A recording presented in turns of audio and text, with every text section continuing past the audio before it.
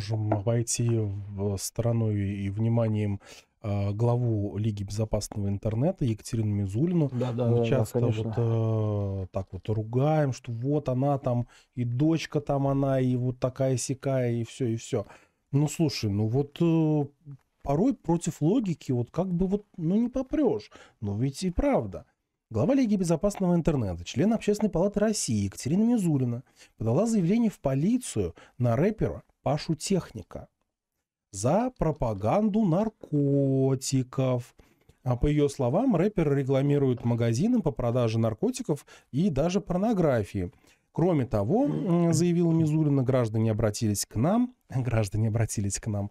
Меня просто люди просили, да? да? Да, С тухлыми яйцами просили ее а, а, значит, э, разобраться с тем, что, вероятно, а, он совершает некие мошеннические действиями. Достал пишет Мизулина. Слушай, э, я смотрел интервью Собчак с Моргенштерном, который э, иноагент сейчас внесен в реестр Минюстом. И он так э, высказывался на тему младшей Мизулиной, как она ему сим симпатизирует, импонирует, точнее, вот так вот. И понятно, да, что почему не на Мангерштерна она написала такое заявление. Да?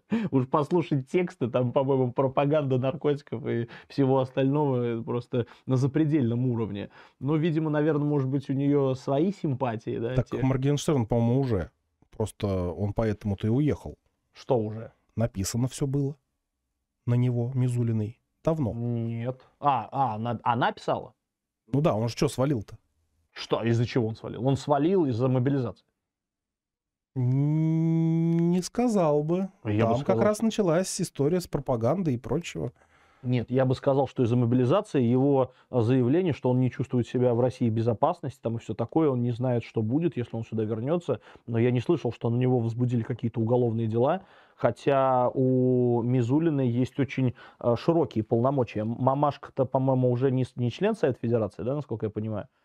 Ее вроде как попросили. Да, я так понял, что да. Я читал все. сегодня в СМИ, что есть э, версия, что ее будут выдвигать жулики в Московскую городскую думу. Очень э, с настороженностью воспринял эту информацию. Бедные москвичи, э, у них, конечно, все лучше, чем у регионов нашей страны, но проблем тоже, как в России, хватает. А если еще и такие депутаты, как Мизулина будет, ничего хорошего для них это точно не принесет. Но видите, несмотря на то, что маму попросили из Софеда, дочка до сих пор на плаву, Уж не знаю, э, за счет чего э, вся эта э, остервенелая значит, активность продолжается, но пытается, наверное, показать, что она думает о стране.